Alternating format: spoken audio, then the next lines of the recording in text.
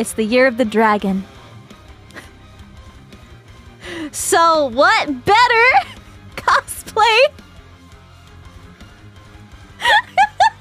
than my fucking badass babe? um, I play Nikke a lot.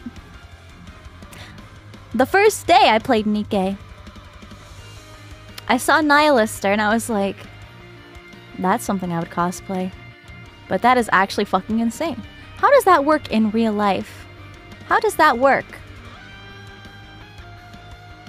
And the short answer is it doesn't. But goddamn if I'm gonna try.